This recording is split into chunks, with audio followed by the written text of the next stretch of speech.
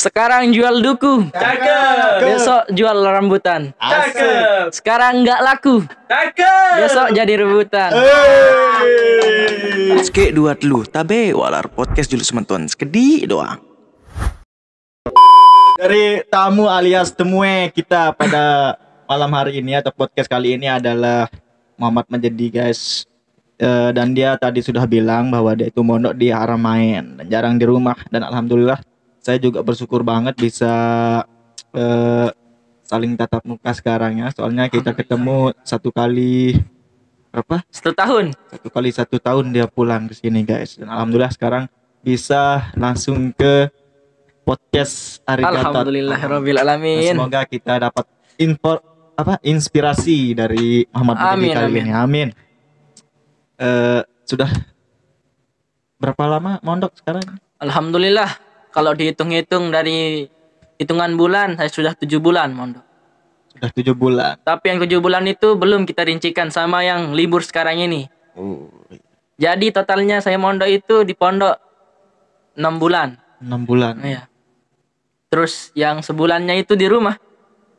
Tapi statusnya itu masih sama seperti santri, tapi tidak di pondok, tapi di di rumah. di rumah oh iya paham paham saya terus dulu kan pas sebelum mondok Iya. pasti ada kata keterpaksaan atau gimana gitu atau demi orang tua saya pergi mondok atau kemauan diri sendiri kita gitu Alhamdulillah mengenai tujuan saya mondok itu sebenarnya itu dari temuan saya sendiri. iya Berawal dari saya melihat keadaan di sekitar saya yang alhamdulillah iya iya. bisa dibilang ya cukup memprihatinkan.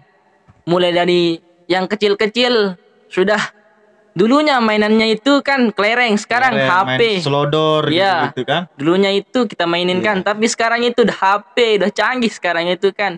Mobile Legend, Free Fire itu namanya mungkin. PUBG, PUBG Iya, PUBG namanya, itu ya. Sebagainya itu.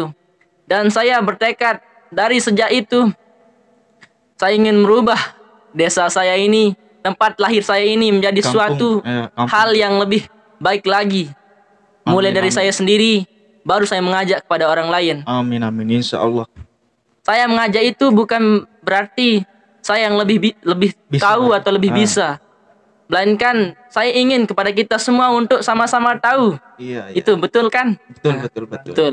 bagus itu bagus Dan selain itu, ibu saya juga keluarga saya, terutama ibu, bapak, kakak mendukung mendukung, mem- memotivasi iya untuk menjadi suatu santri yang mulia. Dan- Santri itu kan mulia. Iya, yang bisa bermanfaat bagi Iya. masyarakat dan sekitarnya ya. Amin amin insya Allah. Sekarang setelah mondok dan sudah tujuh bulan kan di pondoknya, ada nggak keluh kesah selama Muhammad menjadi ini di pondok itu? Kebanyakan kan di pondok itu jarang ketemu cewek. Iya. Kan kita sebagai lelaki itu tidak bisa hidup tanpa seorang wanita. Wanita. Benar sekali Bung Arigatot.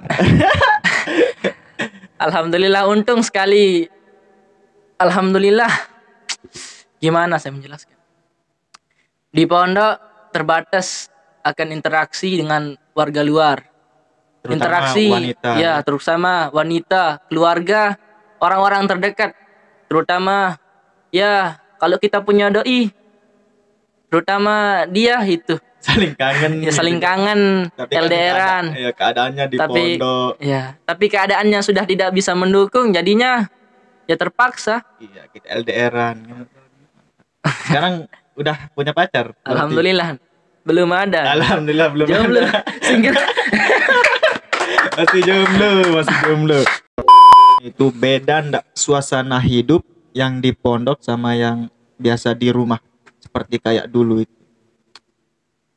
Ya beda sih beda 90 derajat Iya. Soalnya di pondok itu kan eh, gimana gitu. mulai dari saya ceritain Iya.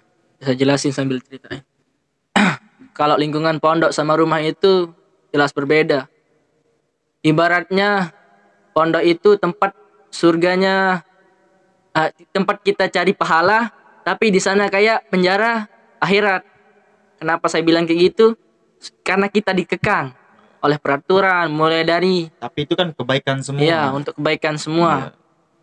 Kita udah bangun jam 4 di saat orang-orang masih di luar sana masih selimutan, masih anget-angetan. Iya, Tidur nyenyak. Iya, tidur nyenyak. Kita udah pada bangun beraktivitas, ambil air wudhu, ganti pakaian, Menanti sholat subuh. menanti sholat subuh. Iya. Dari sana kita mulai beraktivitas. Mulai dari sana kita nunggu sambil baca Al-Quran.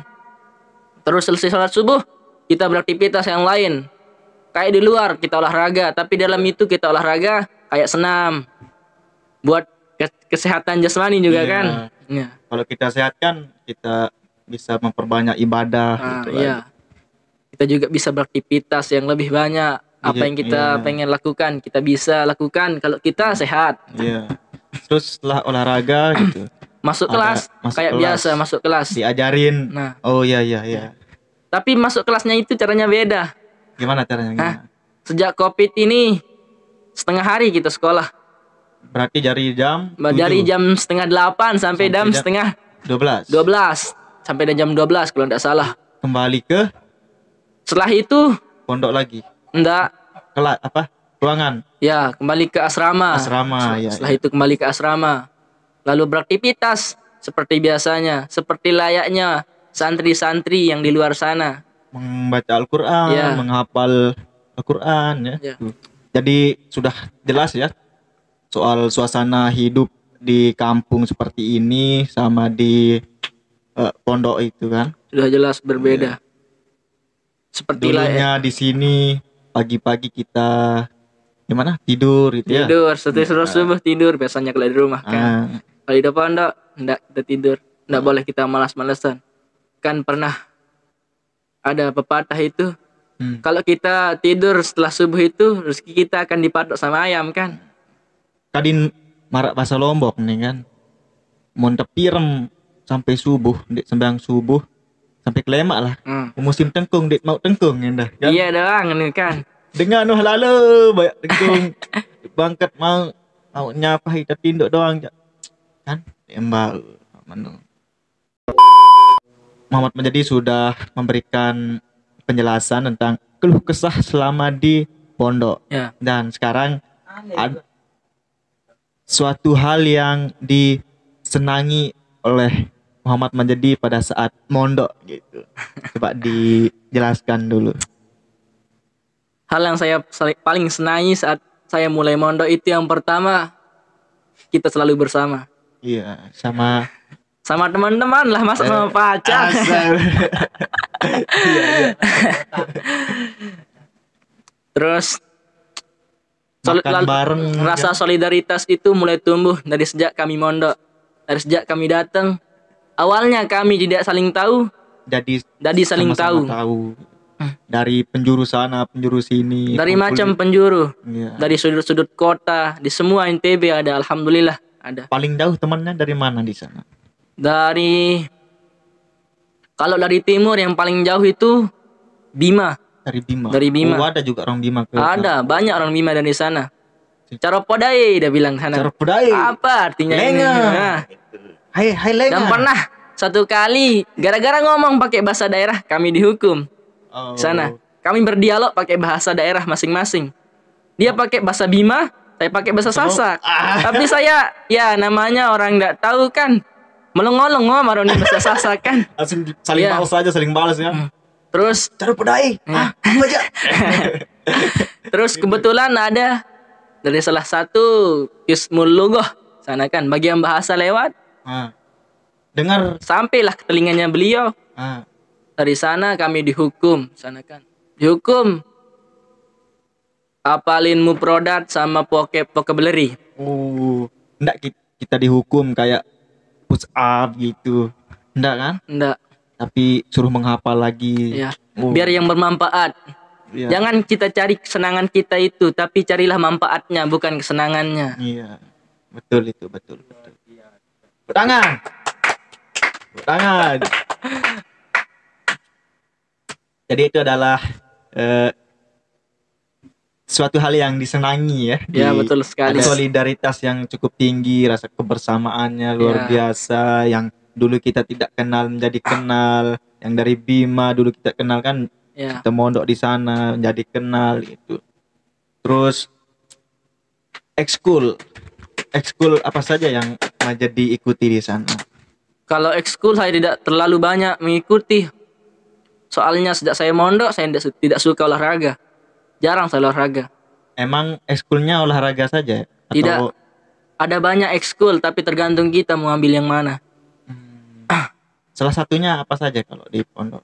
Kalau di pondok olahraga itu kayak main bola main bola, basket, terus yang yang berwatak pendidikan kayak kursus, terus tahfiz, tilawah dan lain sebagainya. Kalau saya sebutin mungkin terlalu panjang. iya iya iya itulah contohnya salah Iya. satunya jadi itu adalah keluh kesahnya Muhammad Menjadi ya ternyata ada keluh kesah pasti di situ pasti ada semua kan ada keluh kesah sama ada yang kita sukai ada yang kita tidak sukai itu pasti ada semua dan dulu sebelum menjadi mondok kan di sini kita sering main-main dulu Iya. kan dan Muhammad menjadi ini paling pinter pantun. Dulu ini. Tapi sekarang setelah mondok apalagi dulu kan sering pantun cinta masalah cinta dulu menjadi ini. Ini ini rajanya Ah, bohong, soal bohong, bercinta ini. Tapi alhamdulillah setelah mondok kita nggak tahu. Ada ada ada Brian zaman dulu. Gak ada pacar saya. Ada juga. Dia juga ditolak-tolak. ah. Dia ditolak kata teman-temannya di sini guys. Kita tanyakan dulu. Bener itu menjadi bener bener.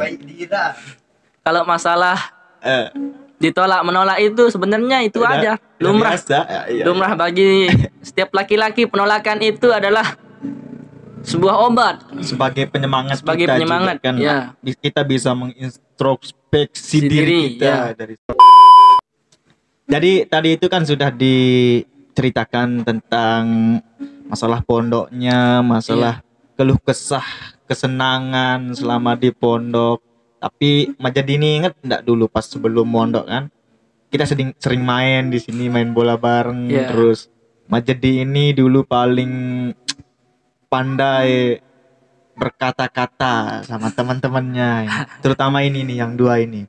Dulu dapat eh, motivasi dari Majedi sebelum mondok aja sudah bisa gitu kan mem- memotivasikan teman-temannya. Sekarang masih bisa ndak setelah mondok ini ya? Atau semakin semakin ah, semakin bisa lah gitu. Ada ndak kata-kata motivasi yang akan menjadi sampaikan pada kali ini untuk teman-teman kita yang di luar sana. Buat teman-teman yang yang berada di luar sana, terutama teman-teman saya yang berada di, di desa saya, terutama Denil Aswadi, Reki Muhammad Reki, terus Yang lainnya lah. yang dan yang lainnya all of you kan. Ada kata motivasi buat saya. buat dia dari saya. Ah, buat dia dari saya. Buat, buat anda-anda atau buat, Buat kalian. anda-anda semua, all of you, I love you. I love you. I love you too. Ada sedikit kata-kata saya yang semoga bisa Menginspirasi. menginspirasi dan semoga bisa bermanfaat bagi kalian semua dan bagi saya sendiri. Amin amin. Amin. Ada sebuah kata-kata, Man arafa safari istaidda. Barang siapa yang tahu panjangnya perjalanan maka ia akan mempersiapkan diri. Benar. Jadi kita hidup ini kan bukan kita hidup hanya Untuk sementara. untuk gitu. sementara. Kita hi- hidup ini punya jalur masing-masing. Iya iya. Rule, rule is my life. Punya jalan hidup masing-masing.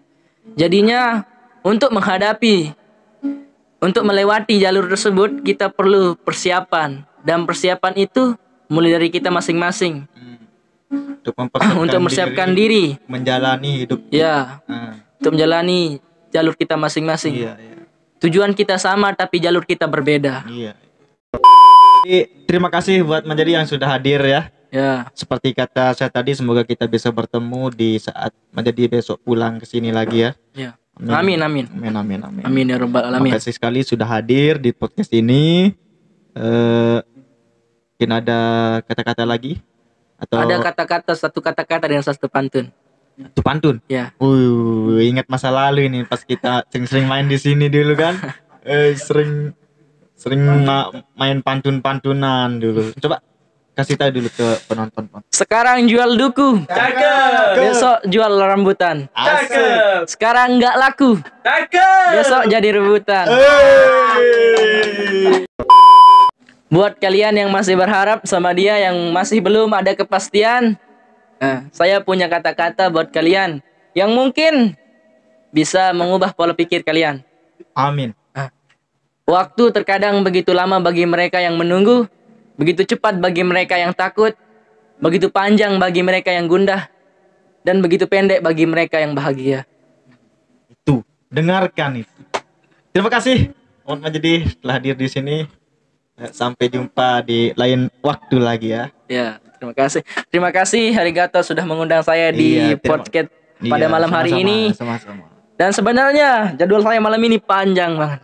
Banyak padat ya. Padat, padat, padat bukan panjang ya. Padat gitu. Apaan, apaan, apaan. Iya iya, enggak apa-apa, enggak apa-apa. Oke, sudah menjadi terima kasih. Ya, sama-sama. Assalamualaikum warahmatullahi Waalaikumsalam warahmatullahi wabarakatuh. Iya asik. Par- Sekian dulu. Dabe walar.